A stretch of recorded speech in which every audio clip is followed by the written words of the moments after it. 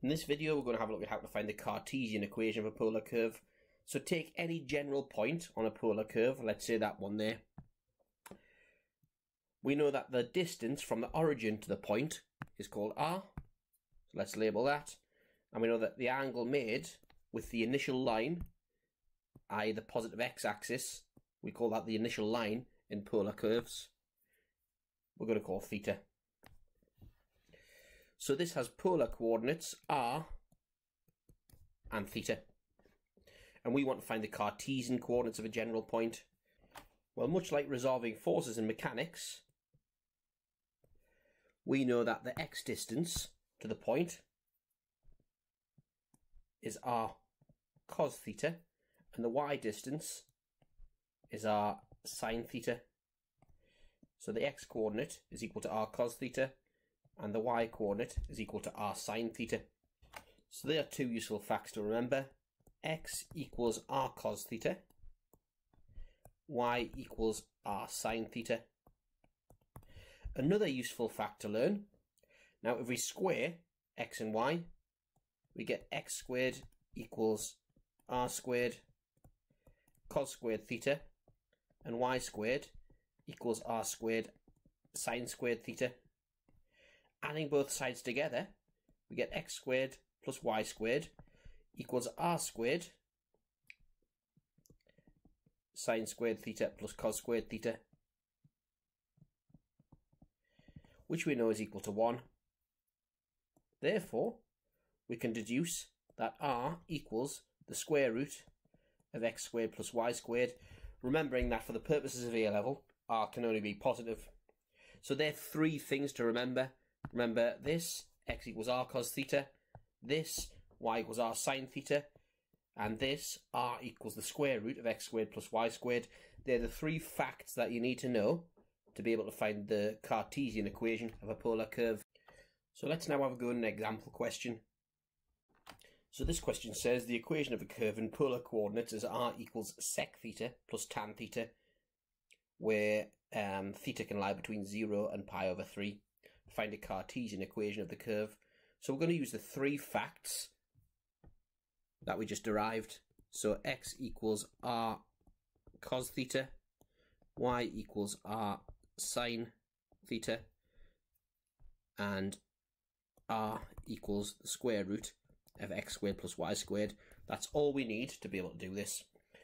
So, first of all, we can replace this r. We can get rid of that by calling it root of x squared plus y squared.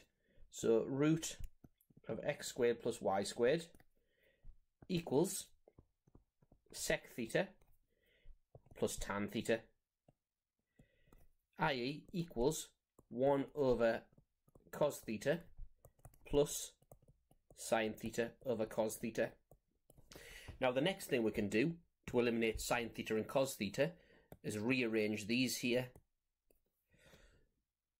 so we've got x equals r cos theta implies that cos theta equals x over r and y equals r sine theta implies that sine theta equals y over r.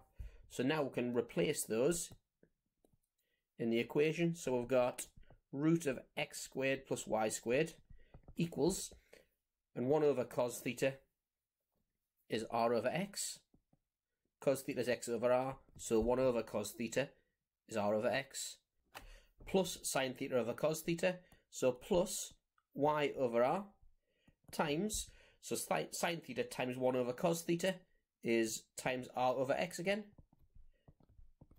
And the r's cancel, which means that the square root of x squared plus y squared equals r over x. Now remember this fact here, we can eliminate r by calling it root of x squared plus y squared.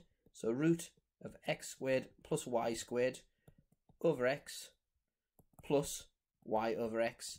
And it didn't ask us to simplify, it just said find a Cartesian equation. So that's it done. It really is as simple as that. So how about we do another one, going the other way, actually taking a Cartesian equation and turning it into a polar equation.